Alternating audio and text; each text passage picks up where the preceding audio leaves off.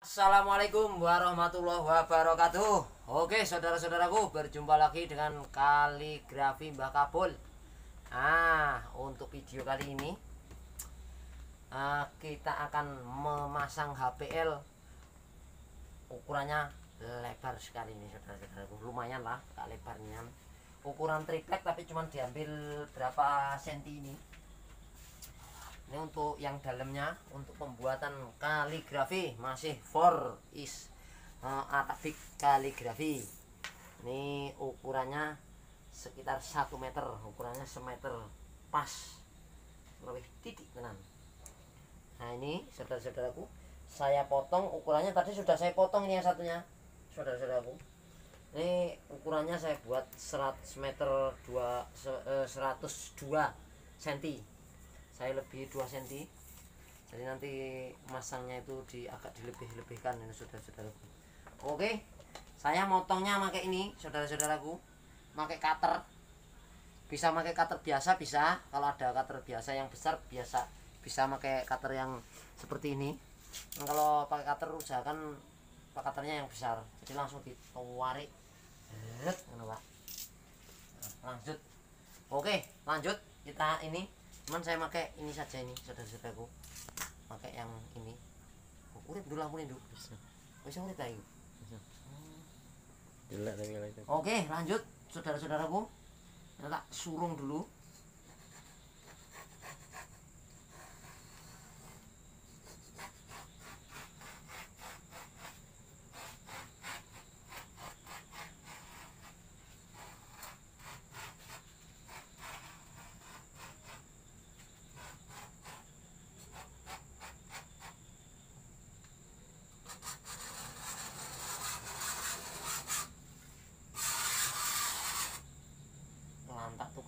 tukang kaligrafi HPL padatnya akrilik. Ini kalau motong HPL ini bisa menggunakan trimmer ataupun apa namanya itu?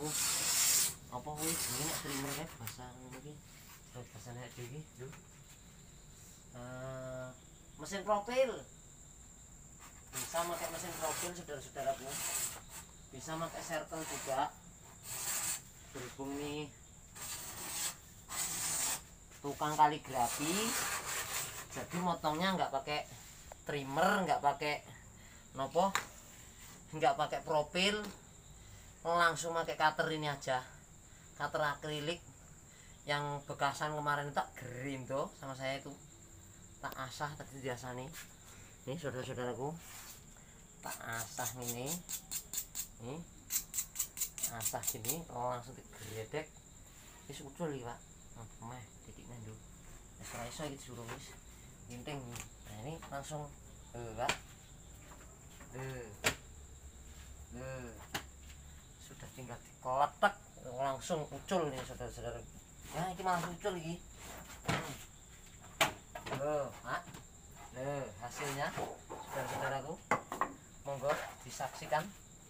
Ini dia hasilnya saudara-saudaraku. Uh potongannya pak. Lumayan halus hampir kayak potongan trimmer. Yang penting pas pertamanya itu saudara-saudaraku pas tadi kita nyurung pertama itu uh, surungannya itu agak pelan-pelan karena lapisan ini ada mengandung ini yang saya pakai ini HPL nya yang licin. HPL nya yang halus ada mengkilatnya itu ada glossnya. Jadi ini agak licin. Jadi kalau yang agak licin itu pas kita nyurung agak pelan-pelan. Nanti kalau sudah ketemu alurnya baru digredek takutnya kalau breset itu langsung seret itu bisa cacat di HPL nya tadi saya sudah motong pertama yang keduanya langsung tak jepit pakai lakban kertas guys. Sudah sudah ini. Nah, tak lebit pakai lakban kertas. Sudah sama langsung hasilnya. Ini yang pertama tadi. Ini dia hasilnya saudara-saudaraku. Hmm. Nah pak hasilnya lumayan halus. Hmm ini dia saudara-saudaraku hasilnya. Nah duh cedek nih duh loh pak. Mulus. Hmm. oke. Setelah ini langsung akan proses pembuatan eh, apa namanya itu? Langsung dilem ke triplek ini.